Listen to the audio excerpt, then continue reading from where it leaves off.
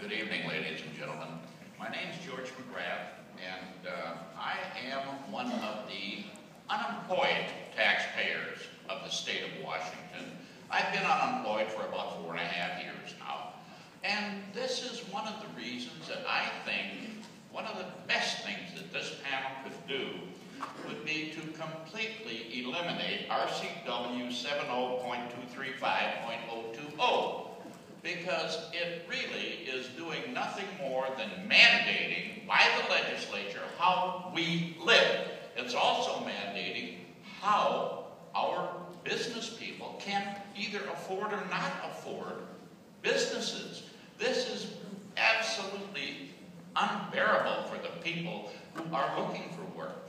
Now, we talked several times tonight about China. And we were talking about the coal trains coming through Washington. Well, yes, China, there was a picture in a Spokane paper a couple of weeks ago showing an inordinate amount of pollution. That's from burning soft coal. The coal that is being shipped from Wyoming and Montana, that's hard coal. It burns cleaner, much cleaner. So if we want to really affect global warming, then let's take a look at shipping that coal to China so that there's less pollution. We know China's not going to give up on coal. They're going to use it.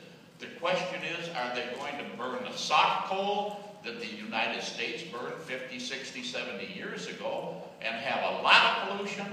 Or can we help the whole world with the global pollution by giving them a fuel which is far more efficient and it will also make some jobs for some of our people here. The gentleman I mentioned earlier, we're losing jobs constantly.